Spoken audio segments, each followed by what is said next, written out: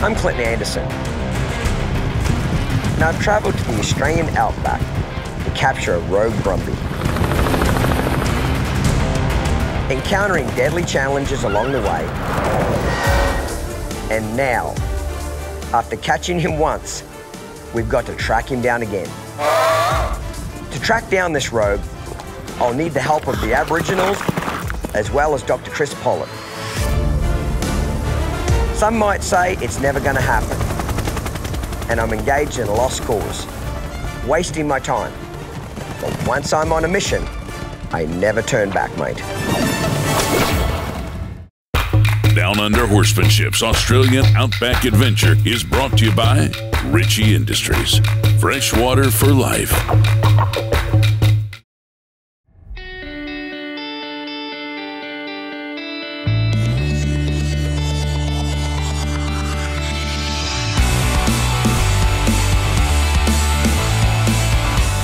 Clinton Anderson, and I have a method for training horses. Getting horses to behave is simple. It's training people that's the real trick. Join me as I tackle some of the most challenging situations with problem horses and with problem owners.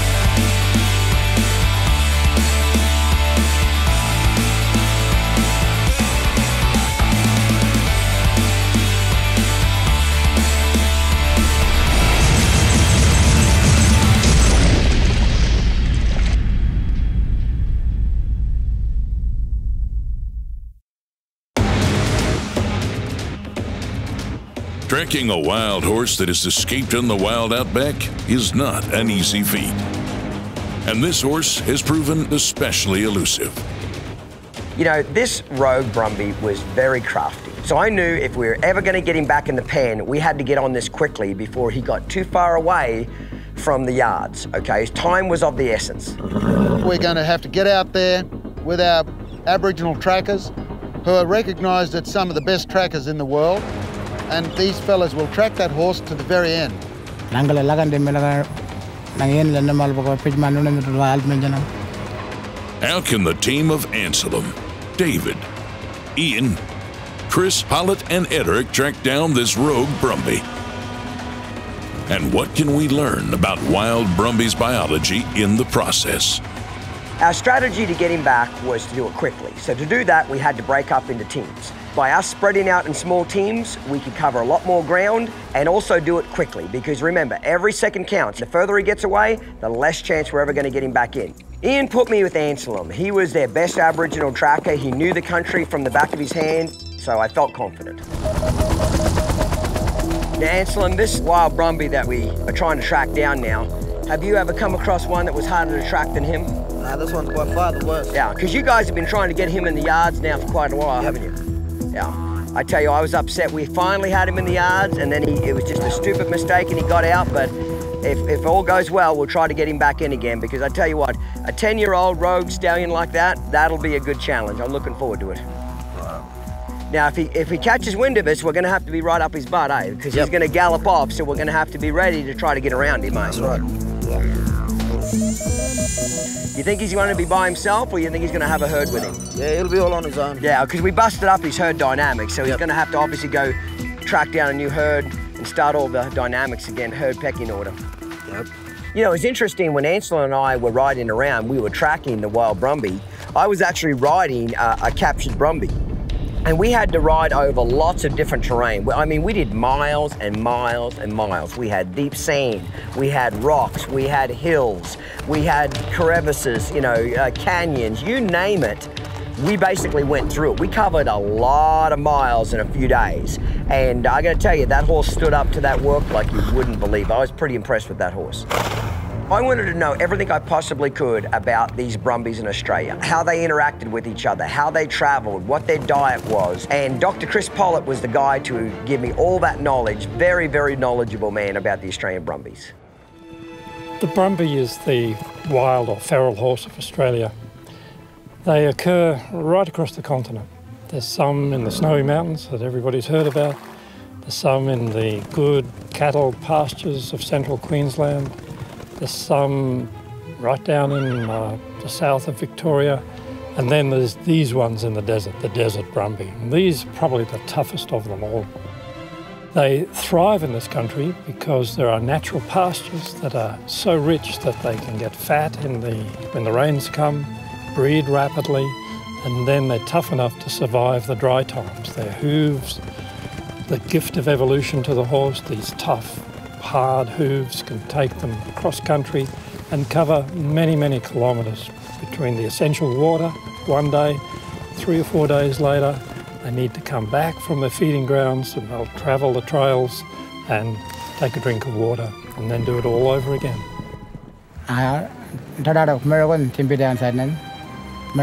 Tadada Anselm and Clinton split off and search to the south, while Edric and David cover the property to the north. Nobody in the entire country of Australia has a more in-depth knowledge of the Australian wild Brumby than Dr. Chris Pollitt. It's just a fact. He is the foremost expert in the country on these horses. When it actually came down to tracking the wild Brumbies, that's when Anselm's skill set was phenomenal. He could tell what direction they went. You know, he was picking up on clues and signs that I would have missed, so, you know, without him, I would have been lost completely.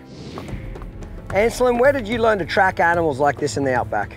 Uh, I learned from my grandfather and my old man. Right? Yep. What do you see?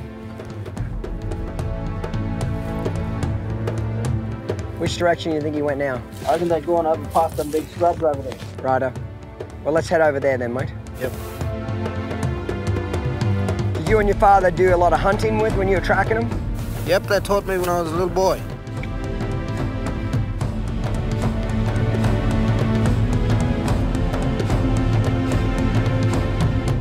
Anselm and I had found some really good uh, fresh Brumby tracks. So we got Dr. Chris Pollitt involved so he could educate me a little bit more about what the tracks were doing, what they were meaning.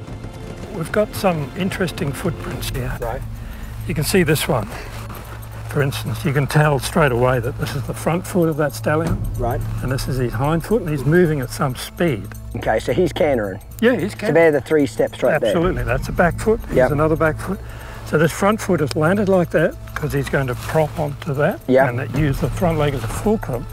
And then the. So hind he's foot. dug is, that out. Yep. But the hind foot's going to come down, spear in in front of his body weight, and then thrust off to give him that momentum. Right. But you can see when he speared in, all of this sand was pushed forward. Mm-hmm. That didn't happen there. That foot lands flat. This one doesn't land quite so flat.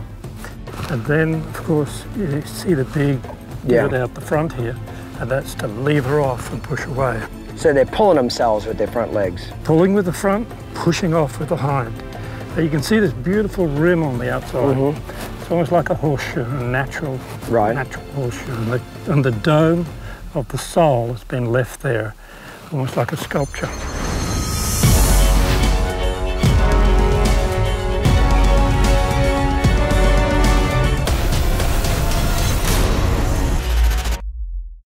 Step up your horsemanship with the Clinton Anderson method. Now available in a complete set. Fundamentals starts you on your journey to ultimate control. As you learn to communicate with your horse, earn his trust and respect, and gain control of his body. Intermediate opens the door to ultimate performance as you build on your knowledge to create a safe, willing, and supple partner you control with a feather-light touch. And now, all new, advanced, delivers ultimate inspiration to fine-tune your application of the method and reach the highest level of horsemanship. Clinton Anderson offers you the ultimate collection of his wildly popular training method kits at a packaged price.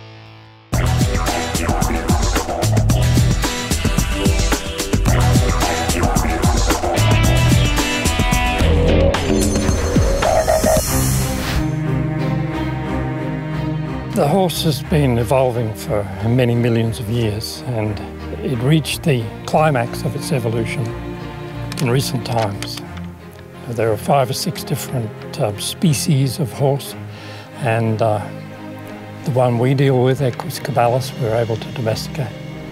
But it evolved to be tough and hardy. It had these ever-growing hooves that um, enabled it to cover large distances without injury, protecting the soft tissues inside.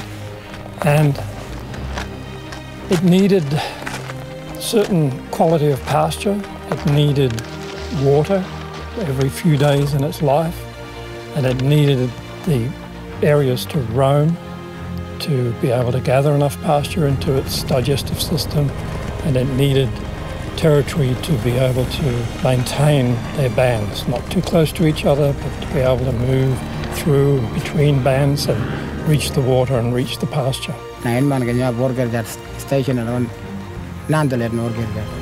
It seems to me when you fly in a helicopter over the, uh, this country and you see the valleys that are green and the, you see the pasture on top of the mountains that they reach sometimes when it dries out in the, in the bottom of the valleys. You see bands across the plain. Wherever you look, you see little groups of horses working. And it's like going back in time to when the horse evolved. And if I could imagine evolution repeating itself, this is where the horse would have evolved. Not North America, where they went extinct, but here. And we introduced them and they thrived. They loved it. Nobody in the world has a more in-depth knowledge of the Australian wild brumby than Dr. Chris Pollitt. The way that they interact as a herd, their herd dynamics, their travel patterns, uh, you know, what they eat. He has a wealth of information about this breed of horse. I was very lucky to meet this man and get to learn from him. What impact does the environment have on these horses, mate? Well, the horse in this environment, he can come for a drink and over the months of the dry times, all the feed will be eaten out mm-hmm. and they'll trek for 10, 15 miles back to the feeding grounds. And then after three or four days without a drink, they'll come all the way back. Mm-hmm. And when they get close to the water, they'll start trotting. Little foals, Why is pregnant that? mares. Just excited, or why do they trot? Oh, when they, they, know that they're going to get a drink. They're Right. deadly thirsty. Yeah, yeah. And it's absolutely essential that they get that drink. So, what is the longest period of time that you found horses have to get water? Is it every third day or fourth day, or Yeah, can they go three or four five days. days? We went, we radio tracked horses that went 10 days without a drink. Right. And then the next day they were back in the feeding grounds, a long way away from that water. Mhm. So they travel pretty quickly back. The thing that determines the survivability of horses in this sort of environment is their teeth. When they wear out their teeth and can't chew this tough pasture any longer, they will starve and get weak and be left. But we've found 25 year old mares still in the environment, still with the band. And we have just as many bands of bachelors roaming this country as we do bands of mares and foals. And the bachelor herds can get quite large because there's no pressure on them. And the young colts, they uh, herd each other up and fight and rear up and do all the stallion battles and practice for when they're going to be involved in a serious challenge. And sometimes we've seen stallions uh, almost you know, fight until one is exhausted or one is critically injured. We've seen them kick onto the shoulder and the horse hobble away on three legs, and that's the finish of that battle. Maybe the old stallion, the existing herd stallion, that gets that kick, but they fight furiously, particularly in the breeding part of the year. You know, Dr. Chris Pollitt and Anselm as a team working with me was a great combination. But time was of the essence. It was slipping by, it was getting later and later, and uh, I was really starting to worry that we were not going to capture this Brumby again. You know, at this point, I don't know if we're going to get the job done. We got the knowledge, we got the desire, but it, it's not looking good. Well, I think Clinton will be a, a fairly good tracker. He's an ex-Aussie, um, and I think with the aid of Aboriginal trackers, Clinton should do very well with tracking. And I know that he'll learn very quickly. He's a good horseman, and it seems to me that Clinton is a very good bushman, so that there shouldn't be any problem with him learning the technique of tracking from our Aboriginal trackers. They've got native pastures here that are called desert oats. And the little oat heads are not as big as the domestic oats, but Yeah. the little oat heads have got milk in them when they've mm-hmm. just sprouted. And the horses just munch it. non-stop. And you've mm-hmm. seen them. They, they grow fat in after years of drought. They, they can become fat. They breed better than you can Right. breed in Kentucky. And uh, stallions can more energy. They can gather up more mares into their bands, and they thrive. Mm-hmm. They thrive better than cattle do. The, the ruminants have to travel a certain distance Mm-hmm. and stop and ruminate from their food. Right, and a horse doesn't need to The, do the horse never, doesn't need to do that. It can munch and walk, munch and walk constantly.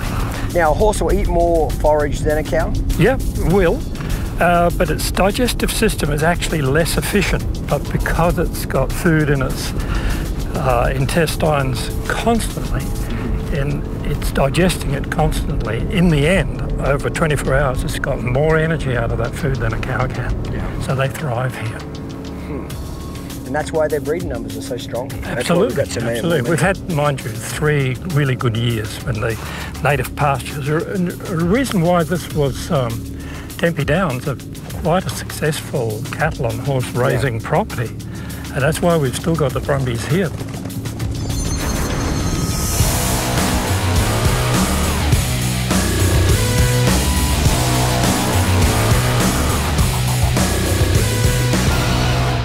Create the ultimate training conditions with the Clinton Anderson Signature Series from Balin Country.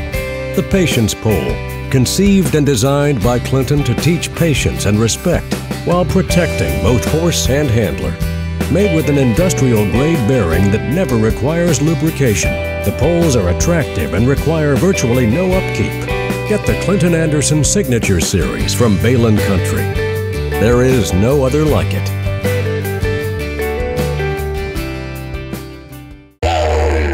Horsemanship's Australian Outback Adventure is brought to you by Ritchie Industries. Fresh water for life. The age of these horses, um, difficult to be exact, but uh, the average seems to be 15 to 20. They're the older horses in the band. We have encountered a, a, a mare that we were pretty sure had no teeth left, was over 30. So some can survive quite a long period of time. There's no geriatric care, there's nobody to mix up mashes for the horses if they get very old. You know, the domestic horse now can be very old. We're looking after older and older horses. Veterinarians specialise in geriatric horse care. That's not available here, so they're, they live for as long as their teeth will function.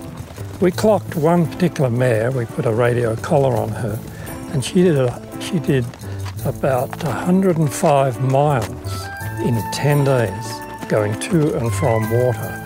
And in those 10 days, she only drank water twice. So you went four days with one drink of water, and then another few days with only another drink of water. So it shows how adaptable, how versatile horses are. They can survive without water, and they stay lean. They don't develop any obesity. There's no problems with insulin resistance amongst these horses. No equine metabolic syndrome here.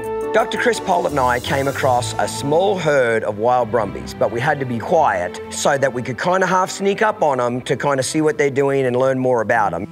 Now, Dr. Pollitt and I have just spotted some wild brumbies. They're over this ridge. So we're going to try and sneak over there and see if we can uh, see them and talk about what's going on. We've got to be really quiet. They're very, very skittish. Yeah.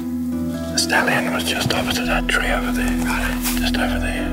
If we go in, we might just be able to see before he sees us.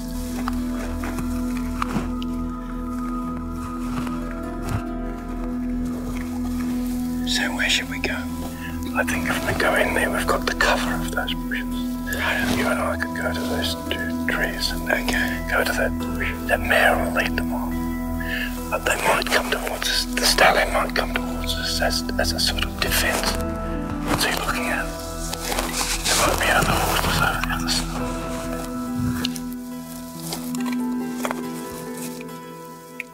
Oh, the one in the foreground's definitely a stallion.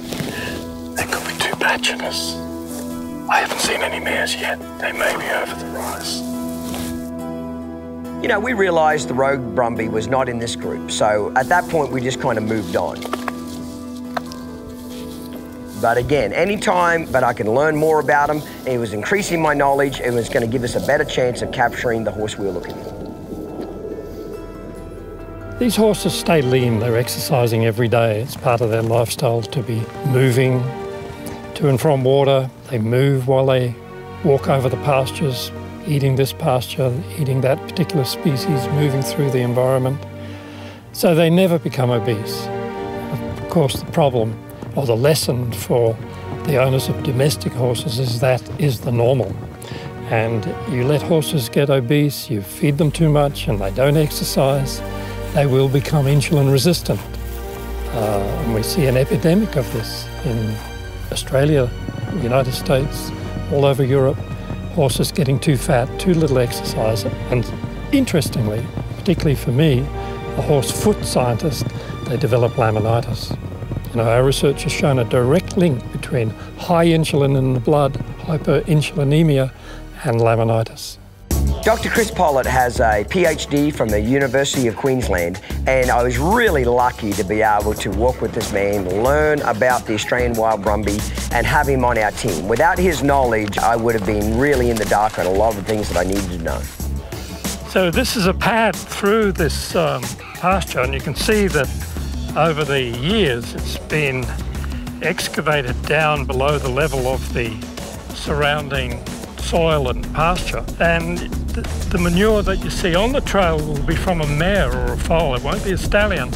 The stallion here will wait until he finds a pile where the other stallions have defecated. And he will defecate there. Not a lot, but he will mark that pile of manure. That's a dung pile. And it tells all of the other stallions that I'm here. Look out. While tracking, they came across a dung pile. This is one of these stallion dung piles I was telling you about. Right. So this is the the signpost. What do you mean by that? Like what's... Well, a stallion will come here and drop two or three right. and then he'll likely urinate on it. So he's really So putting- all of this is just for one stallion? No, no, no, no. Every stallion that comes by here will So add. So why are they all adding to it? Well, each one is trying to dominate the other with their urine and the feces. He's trying to. So it's kind of like a turd war. okay, we've heard of Yeah. So they're trying to drown out the scent of any other stallion. And uh, when the mare sniffs this, she'll think, oh, um, Fred's here. Hmm, Fred's he- He's cool. or maybe it was Jack. Clinton came home from the bar. Yeah, okay, I'm with you. They keep adding to it, and it's loaded with pheromones. This is the, this loaded with scents that um, uh, the stallions know that there's a very dominant stallion here, or I've knocked him off before. I'll be able to take a mare off him. Right. So they come and sniff and go through a ritual of behaviour when they do that. They smell it. Sometimes they do flame them, curl their lips up Yep. and uh, then they'll walk over it and drop a few drops of urine on it, and then a couple of steps more, and they'll defecate on it. Add to the pile. So that would have been added to this morning by two or three stallions who came by along that trail that we just followed. We'll be right back with more from the Australian Outback presented by Ritchie Industries. Well, Leon, here we are, mate, in the middle of the Outback. And this is the first official Ritchie Waterer to be in Australia in the Outback, correct? Yeah, that's exactly right. Well, you know, it just stands to reason that Ritchie Waterers make the very best, toughest, most durable automatic watering system for all livestock. So if any waterer is going to put up with abuse, it's going to be a Ritchie Waterer, and that's what needs to happen here, because in the middle of the outback here, it's tough. You've, you've seen the horses, you've seen the animals, you've seen the kind of abuse that everything goes on out here. You've got to have a waterer that puts up with it. Well, we've seen a lot of abuse out here, but we have confidence that this water will hold up. Yeah. With its construction, polyethylene, plastic with the polyurethane insulation, it's rugged. I still haven't seen an animal out here that's Well, going to this tear is, it up. this is the exact same water that I use on my ranch. That's correct. every day. Correct. Well, Leon, we've talked a lot about Ritchie and what they do for the outback and the horses. Let's go out and catch some more wild brumbies and get them trained, mate. Sounds like a plan.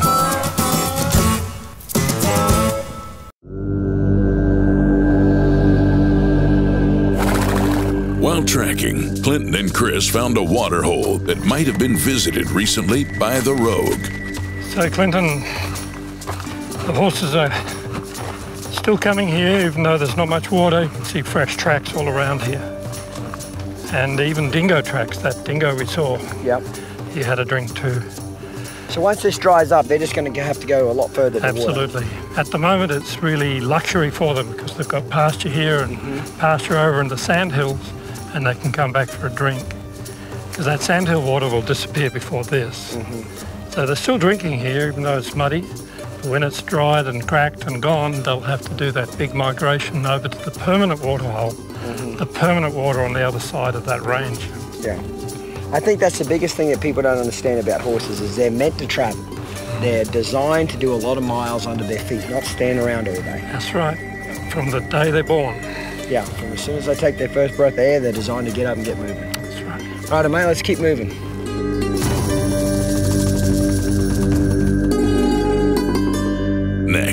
Professor Chris spotted some fresh hoof prints, giving clues that they might be close. We've got uh, adult horses here, the large footprints, but here's a here's a baby footprint. This is probably the hind foot, and that's probably the front foot. Would be seven or eight months old. The mother will be eight months pregnant. Another three months to go, and then that foal will be weaned and will have to fend for itself. It'll stay in the band. One thing Professor Chris knows a lot about is the desert Brumby hoof. This is the Desert Brumby hoof, and it's getting a trim. Hoof walls being beveled, toes being beveled, just like a hoof trimmer might do with his rasp. But every step this horse takes, the sand is shaping the hoof, the stones, wherever it hits, there's a, a mark on the stone and a little bit of shaving away of the hoof. And we think that when this hoof makes contact, the triangular frog here pushes the dirt forward and takes out this little quarter here. So that's why we have that little gullet there between the heel and the toe. But unlike the Mustangs that we've heard about, they don't have a square toe. We've got groups of horses from Dr. Hampson and our research that do have a square toe, but we think they're afraid of the crocodiles and they don't go to the water's edge and they dig holes back from the water's edge and square off the toe. And the American Mustang might be digging through the ice and snow to get pasture and using its hooves and squaring its toe. So this is the gift of evolution that uh, we've got here. An ever-growing hoof. The hoof grows every minute of the horse li- horse's life. There's new cells being added to the top of the hoof and it's growing downwards. And what is lost to abrasion and stones is replaced from above. So it's an ever-growing hoof. The secret of success of the Desert Brumby.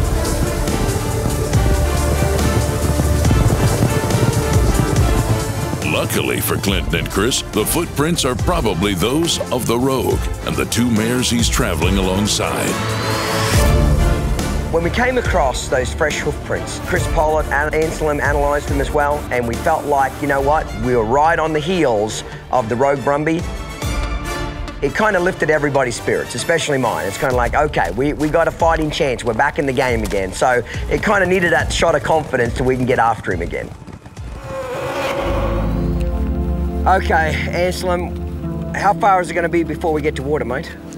Another 20 miles. No, 20 miles, and you Yep. reckon that's where exactly where he's heading? That's where he's heading. Okay, uh, we're probably not going to make it there before dark, are we? No, we won't. We'll so we're going to have to set up camp. Yep. Where's the best place that you'd recommend to set up camp where we're not going to have any snakes or any problems? Uh, just further up here. Okay. Right, we'll start a fire and then we'll see where we go from there. Righto. He's going to travel quite a bit of ground tonight, don't you think? Yep. He'll probably get to that water before we get to it. Yep, he won't stop.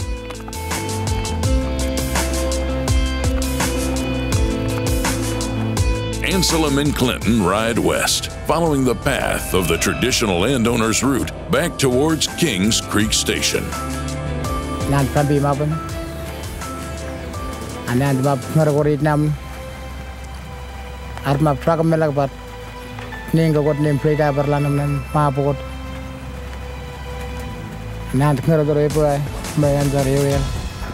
with the night closing in, Clinton and Anselm decide it's time to set up camp. What are you looking for in a camp, mate? Uh, somewhere where there's windbreak, yep. shelter from the rain, maybe a cave. Yep. Somewhere where we can find some firewood. Yep. Yep. We better get something to eat then pretty soon, eh? Yeah. Have to make some more smoke too, Right. What are we going to make the smoke for? so the other mob can find us. Okay. Well, I bet that horse is going to beat us to the water. He's going to get there tonight before us. Yeah, sure.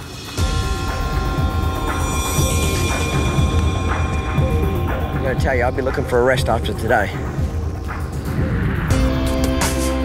In order to signal where we were, Anselm lit a big fire, created a lot of smoke, and that let the other people in our tracking party know exactly where we were so they could locate us. Anselm did a great job uh, with the smoke, getting everybody to come into the camp, let everybody know where we were, but he was pretty much aware that if we did not get him the next day, we weren't going to get him. Too much time had gone past now, and he traveled too far away from the yards that if we did not get him the next day, the trip was pretty much over. Clinton Anderson, world renowned horseman, has designed one of today's most unique handcrafted saddles. Combining time worn traditions with the latest innovations in saddle making, Clinton and Martin Saddlery have created the ultimate Aussie saddle, hand tooled, double stitched out of premium leather. Its tree handcrafted from Dakota pine, the perfectly engineered fiberglass seat guarantees a natural fit, eliminates pressure points. This is a saddle built with real life in mind. It gives a rider unique balance, security, comfort, a strong seat, and a perfect fit. Maximizing performance for you and your horse through coordinated movement, a secure and balanced seat, free range of motion, just as nature intended. Clinton Anderson combines the perfect combination of Aussie and American saddle making. Clinton Anderson Aussie Saddle, made exclusively for Down Under horsemanship. Call or click to order today, or shop our store at a Clinton Anderson tour event near you. Down Under Horsemanship's Australian Outback Adventure is brought to you by Ritchie Industries. Fresh water for life. Clinton and Anselm have spent all day tracking the rogue, but it is getting dark, and they'll have to camp for the night. And Anselm has lit a fire to send smoke signals to the other trackers so that they can find the campsite so that they can have a planning meeting about how to proceed. Anselm, we made pretty good progress today, didn't we, mate? Yep. Where do you think he's following those tracks? Where, where's he going? Oh, he's going to a waterhole. You know which one? Yeah, I know which one. Is it a permanent waterhole? Permanent. How many more uh, days do you think it's going to take for us to get him? I think one more day will get us pretty close. Okay, mate. I hope so. I'm really looking forward to getting this horse. Me too. Yeah. How far do you think those Brumbies can go in a day, mate? 30, 40 miles easily. Yeah? Yeah, not hard for So them. they're, they're pretty fit then. They can travel some miles. Yeah, they can. Righto. Well, we're going to have to stay on if we're going to have to keep up with them.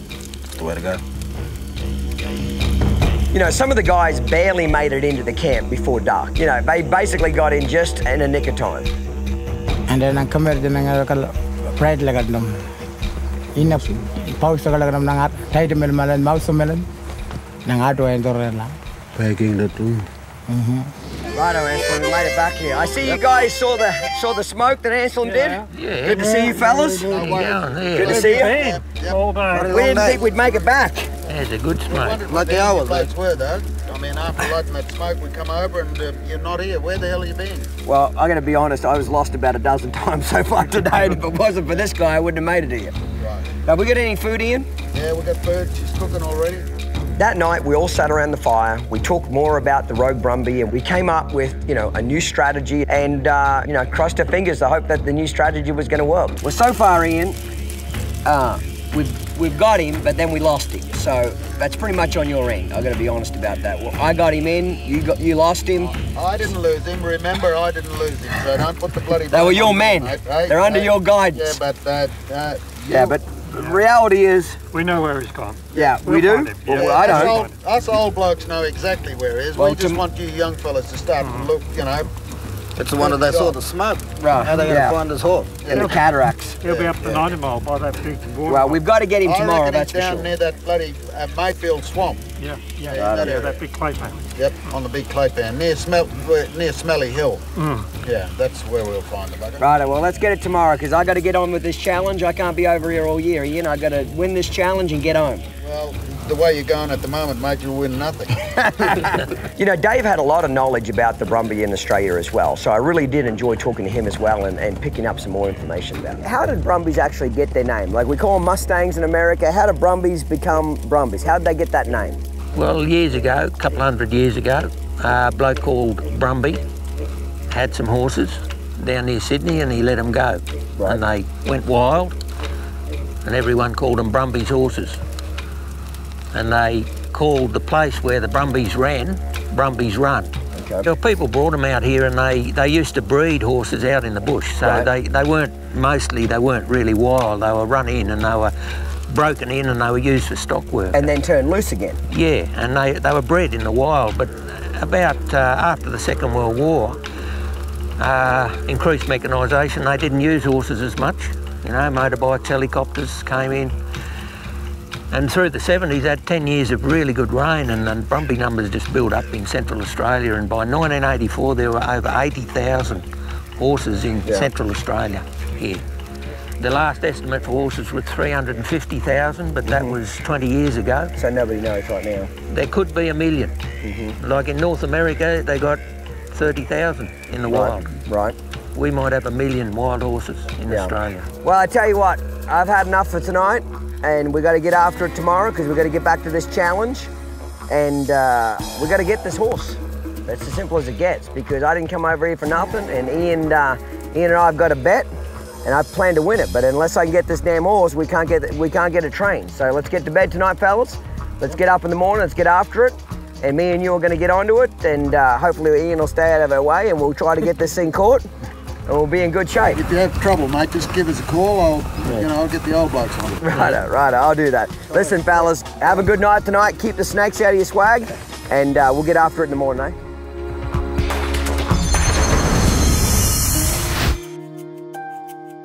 Fresh water on demand is critical for your horse's health.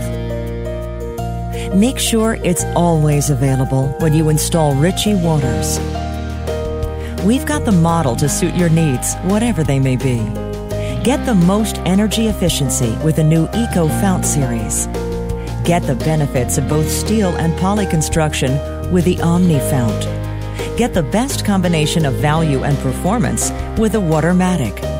And for delivering water directly to your horse, there's our newly redesigned stall fount. Ritchie set the standard in quality when we invented the automatic waterer in 1921, and we've been the industry leader ever since. So when you buy a Ritchie, you know you're getting the most dependable product on the market, not to mention the best value, service, and warranty in the business. After all, water is essential. We make it easy.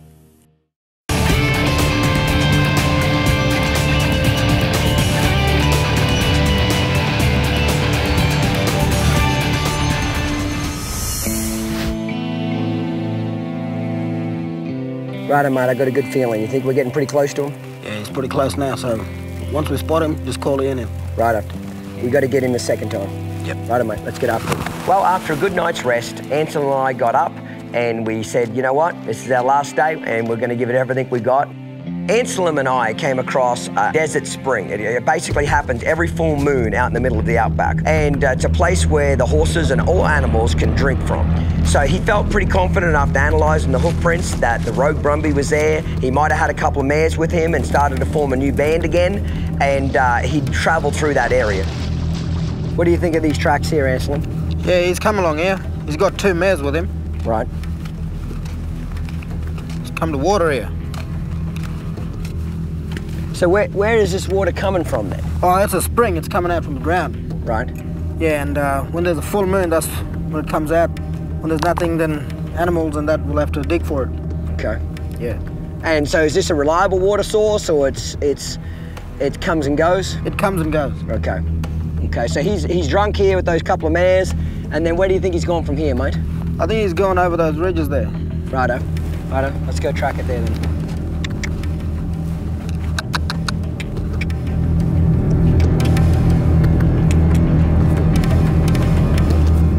Where, where are we going? Which direction is this, mate?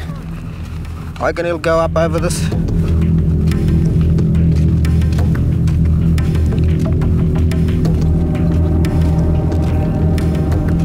He'll be looking for a place to graze now. Right.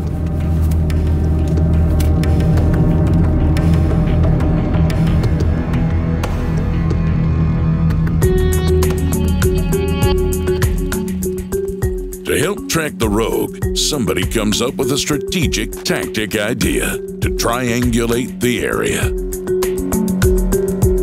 Towards the end, we pretty much felt like we had the horse within a two mile radius. So, what we did is we split up into three groups and kind of formed a triangle around where we thought he was. And we basically just kept moving in a circular motion around him and kept narrowing the distance that he could escape from. And we, we hope that that theory of just closing in, closing in, closing in, but all of us keep moving around at the same time was going to work. And it ended up working really well.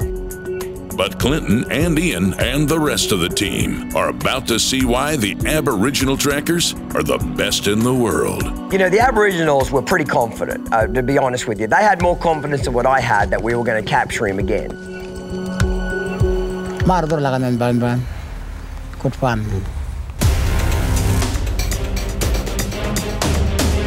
Like many traditional landowners, these men are in tune with the environment and have a sixth sense and epitomize the spirit of the area in honing in on this horse. And they're familiar with the location of good lookout posts where one can see the entire valley clearly to see the big picture. But with this rogue getting further away with every passing hour, time is running out to find this horse. The manhunt fans out to bring the rogue in. Where's Clinton Anderson?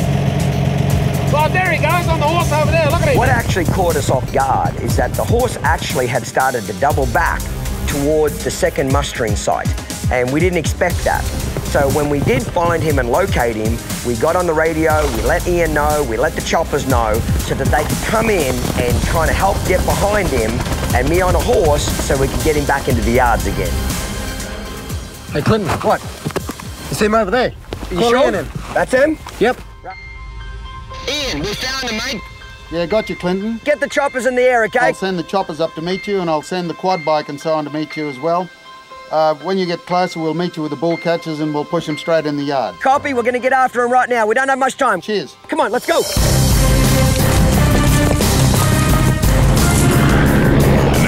Having traveled a total of 100 kilometers, they're really close to finally capturing this horse.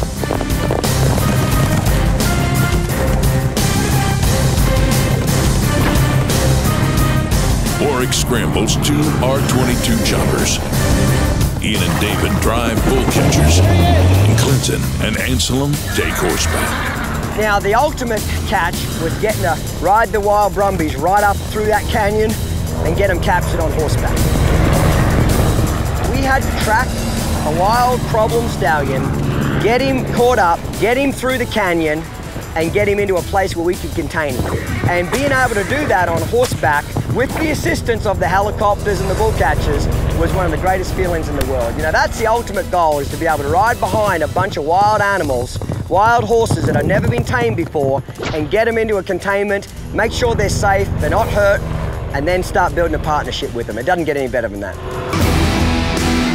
Me and Anselm spent, you know, many, many hours together, several nights tracking him, figuring out where he was going, and uh, that was an adventure on its own by itself. But, you know, it was kind of lucky that we got him back again. After successfully recapturing him again, to say that I was anxious to get in the round pen and start working with him would be an understatement. I wanted to start the method on this horse like right now. Okay, I wanted to do the job that I came over to get done.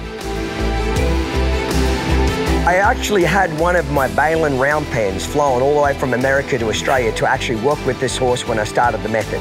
Well, looks like it's me and you now, mate. Let's get on with it. I wanted to make sure that he wasn't going to escape again, and I'm glad that I brought the Balin round pen over. When you're dealing with extreme horses and livestock, you want the best equipment. So I'm glad that the Balin round pen came over with me and uh, I was able to use it. Down Under Horsemanship's Australian Outback Adventure has been brought to you by Ritchie Industries. Fresh water for life.